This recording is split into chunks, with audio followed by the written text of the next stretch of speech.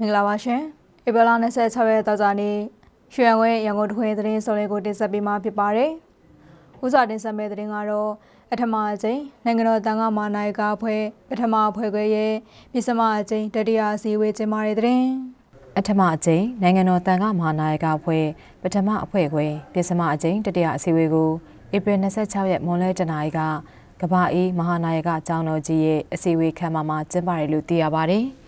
အစည်းအဝေးတွင်တဘာပတိဖြစ်နိုင်ငံတော်တန်ခါမဟာနာယကအဖွဲ့ဒုတိယဥက္ကဋ္ဌအကမဟာပန္နိတာအကမဟာတတ္တမစောတိကတစ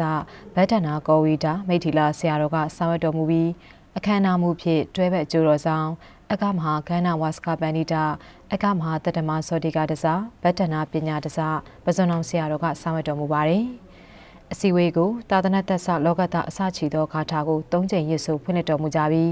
ဒုတိယဥက္ကဋ္ဌအကမဟာပန္နိတာအကမဟာတတမစောတိကတစဗတ္တနာကောဝီဒမိထီလာဆရာတော်ကဩဝါဒကထာမွတ်ကြတော်မူပါတယ်။ အဲဒီနောက်အထမအကျိန်နိုင်ငံတော်တန်ခါမဟာနာယကအဖွဲ့ပထမအဖွဲ့ခွဲရဲ့ပြင်စမအကျိန်ဒုတိယအစည်းအဝေးမှတ်တမ်းပပြင်စနှစ်မြင့်ဆောင်2024ကိုဖတ်ကြားအတည်ပြုတော်မူကြပြီးဝိနည်းဆရာရေးရာတင်ပြချက်များသာသနာရေးရာတင်ပြချက်များပညာရေးရာတင်ပြချက်များနဲ့အထွေထွေကိစ္စရပ်များကိုဆွေးနွေးဆုံးဖြတ်တော်မူကြကအစည်းအဝေးကိုဗုဒ္ဓသာသနာစိရန်တိတ်တထု၃ချိန်ရစ်စုစုတောင်း၍ရုပ်သိမ်းကြောင်းသိရပါတယ်ရှင်ဒီသတင်းကိုတော့အောင်မြင့်ကပေးပို့လာတာပါ ဆက်လက်တင်ဆက်မယ့်သတင်းကတော့ရွှေပြည်သားမြို့နယ်တွင်အလုသမားအသိပညာပေးဆွေးနွေးပွဲများဆောင်ရွက်တဲ့သတင်းရန်ကုန်တိုင်းဒေသကြီးရွှေပြည်သားမြို့နယ်တွင်အလုသမားဝင်ကြီးဌာနအလုပ်ရုံနှင့်အလုသမားဥပဒေစစ်ဆေးဦးစီးဌာနမှတင်ထောက်ကူပြုမတော်ရင်ဖြင့်လုပ်ငန်းခွင်ရောက်အလုသမားဥပဒေပါရပိုင်ခွင့်များလုပ်ငန်းခွင်ဘေးရန်ရဲ့ကင်းရှိရေးနဲ့ကျန်းမာရေးဆိုင်ရာကိစ္စရပ်များအသိပညာပေးဆွေးနွေးပွဲကို ဧပြီလ25ရက်နေ့ပိုင်းကတာရုကန်စက်မှုဆောင်ရှိ GOC မြန်မာအထည်ချုပ်စက်ရုံရန်ကုန်ပန်နက်ဒက်စ်အထည်ချုပ်စက်ရုံနဲ့ဒုံကြီးအထည်ချုပ်စက်ရုံတို့တွင်ပြုလုပ်တယ်လို့သိရပါဗျ။အသိပညာပေးဆွေးနွေးပွဲတွင်အလုတ်ယုံနယ်လူသမားဥပဒေစစ်ဆေးဦးစီးဌာနရွှေပြည်သားမြို့နယ်မှာလက်ထောက်ညွှန်ကြားရေးမှူးဦးသိန်းကိုကိုနဲ့ဦးစီးရရှိဦးတန်းထွန်းစောတို့က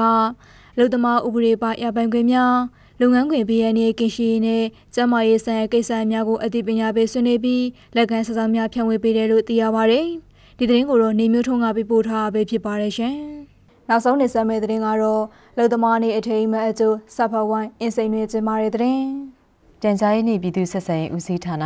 ရန်ကုန်မြောက်ပိုင်းခရိုင်အင်းစိန်အင်းစိန်မြို့နယ်စာပေဥယျာဉ်ဘုတ်ကလပ်အသင်းနဲ့အ င်းစိန်မြို့နယ်စာရေးဆရာအသင်းတို့ပူးပေါင်းပြီး2024ခုနှစ်မေလတရက်တွင်ကြာရောက်မဲ့အလုသမားနေ့အထိမ်းအမှတ်အကျိုးစာဖတ်ဝိုင်းကိုဧပြီ24ရက်မွန်းလယ်တနာရီက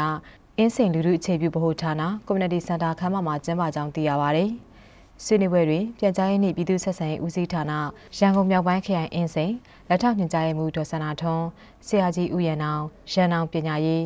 ဦးတော်မြင့်တော်မြင့်ငှက်ဖျားဆရာဦးဘိုကြီးဒေါက်တာဘိုတန်မဏိတောင်းနှင်းကြီးတို့ကအမှားစကားပြောကြားကြပါတယ်။ အဲဒီနောက်တက်ရောက်လာကြတဲ့အင်းစိန်မျိုးနယ်စာရေးဆရာအသင်းဝင်များကအလုသမားနေ့အကြောင်းဆွေးနွေးပြောကြားကဥဆောင်ဆွေးနွေးသူများကိုတာဝန်ရှိသူများကအမတ်တရဂုဏ်ပြုလက်ဆောင်ပစ္စည်းများပေးရကြတယ်လို့သိရပါတယ်ရှင်။ဒီသတင်းကိုတော့ဆွဲထက်ကိုကပေးပို့လာတာပါ။ရွှေရန်ကုန်ရဲ့ရန်ကုန်တခွင်သတင်းစုံလေးကိုတင်ဆက်ပေးကြရပဲဖြစ်ပါတယ်။တ िश ူပါပေးခဲ့ကြတဲ့ပရိသတ်များအားလုံးကိုကျေးဇူးတူတင်ရှိပါရရှင်။